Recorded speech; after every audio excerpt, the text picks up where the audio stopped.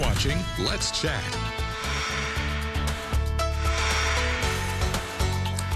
Let's face it, when it comes to personal growth, we could all use a little help, and for that we turn to the expert. In fact, our next guest has written six books about that very subject. Thomas Fellows is here and is here to talk about book number six, Alone at the Lunch Table, How to Rise from Rejection. Thomas, good to see you. Yes, thanks so much for having me, Chip. I appreciate it. Tell me what inspired you to write this particular book. I would say just because I've been rejected over and over again in my life by, um, you know, certain jobs, um, women, um, you know, getting fired from jobs. And I would say that there's three books that really inspired this book.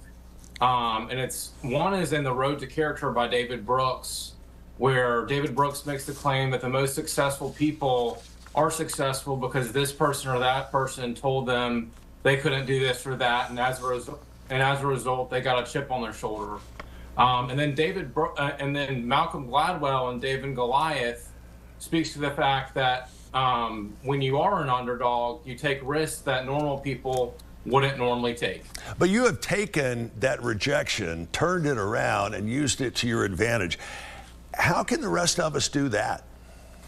Well, when you are rejected, it really, you know, gets into that fight or flight, fight response, and you build up adrenaline and you build up more energy, which makes you succeed the next time. Give me an example of a few folks of uh, historical note that found themselves in that seat getting hit by rejection time and time again and used that to their advantage and came out way on top of the game. Yes, I would say Abraham Lincoln, Frederick Douglass, Alexander Hamilton, and Martin Luther King Jr. all are who very or all are who are very impactful Americans.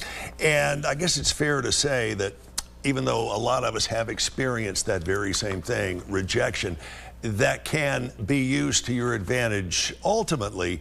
Yet on the other side of that coin, we're all we all know people who have never been rejected, at least to hear them yes. tell it.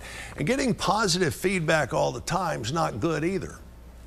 Yeah, getting positive feedback is not good because chances are you're going to get complacent and you're not going to grow. Um, there are exceptions to this, maybe such as a Taylor Swift or LeBron James or Scottie Scheffler now in golf but it's much easier sometimes to have success being rejected in the first place. And you have written again a number of books about this. This is book number six called Alone at the Lunch Table How to Rise from Rejection. Thomas, tell me where we can get the book. Barnes & Noble and also on Amazon. Barnes & Noble and at Amazon. And I'm sure you've already got plans for book number seven that's not too far away. Can you give us a sneak peek of what that's going to be about? Yes, that book will actually, I've re- actually written 10 books, and that will be book number 11. And that's called Rolling the Dice Risk Aversion Explained. Mm-hmm. And I talk about how taking risks in life, different types of risk, can lead you to success. Thomas, always good to spend a few minutes with you. Thanks so much for joining us. And if you want to find out more about his incredible story, just check out the website, thfellows.com. That's thfellows.com.